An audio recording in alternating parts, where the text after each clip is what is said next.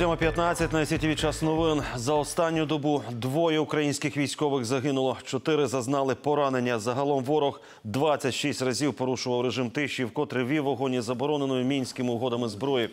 Найгарячіше було поблизу Мар'їнки, Авдіївки, Водяного та Новотроїцького. Противник гатив із БМП, протитанкових гранатометів, мінометів та стрілецької зброї. Працював і ворожий снайпер. На переговорах у мінську не змогли домовитися про розведення сил у Петрівському і Золотому. Графік обговорювали, але сторони консенсусу не досягли. Повідомив представник ОБСЄ Мартін Сайдік. Нагадаю, що саме це було останньою вимогою Росії для зустрічі у нормандському форматі. Українська делегація на чолі з другим президентом Леонідом Кучмою наголосила, що всупереч домовленостям угруповання систематично порушують режим тиші. Київ зазначає, що таке розведення може відбутися лише за умови дотримання семиденного режиму тиші на цих ділянках. Також бойовики не відводять важку артилерію, а навпаки, розміщують на передовій танки і міномети.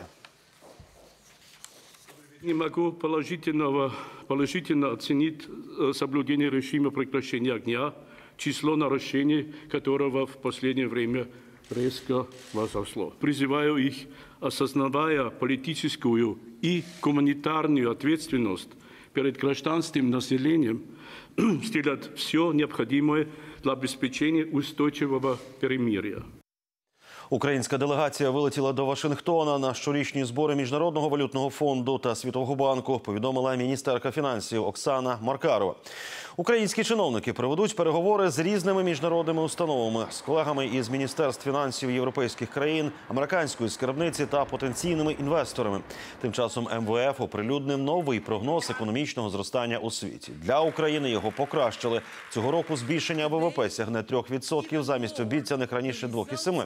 А от світова економіка загалом сповільниться до 3%. Навесні прогнозували на піввідсотка більше. Причиною погіршення називають торговельні суперечки Esqueminhas Creio. З початку жовтня українці добровільно здали понад 3 тисячі одиниць зброї та майже 200 тисяч боєприпасів. Відтак від кримінальної відповідальності звільнено майже 400 людей. Повідомляють у прес-службі Нацполіції.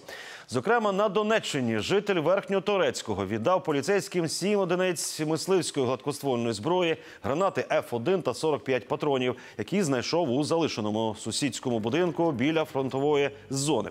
А на Сумщині юнак приніс до поліції два знайдені гранатомети. Добровільну зброю можна здати до 31 жовтня. У поліції нагадали, той, хто встигне, звільняється від кримінальної відповідальності. Понад шість днів у черзі на заправку простоюють водії у Венесуелі, найбагатшій на нафту країні світу. Причина такого парадоксу економічна криза, що виникла внаслідок недолугої політики. Гіперінфляція в країні нині перевищує 50 тисяч відсотків. Тривалий час завдяки велетенським субсидіям від держави бензин в країні був практично безкоштовний. Тож венесуельці контрабандою переправляли його до сусідніх країн, де нелегально перепродавали і не платили податків.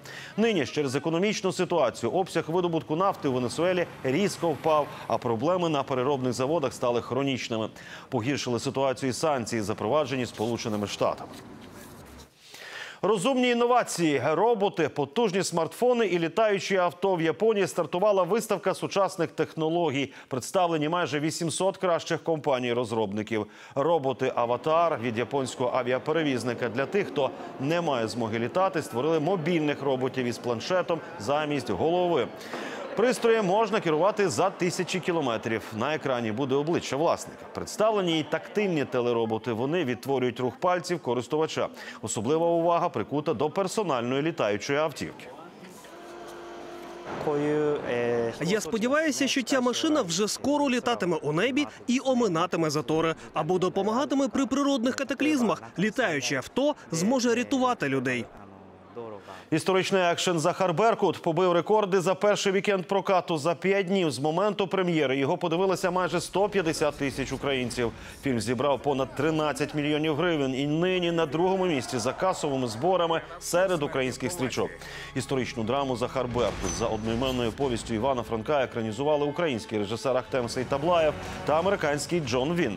Зйомки проходили в Карпатах поряд з озером Синевир, а також біля Києва.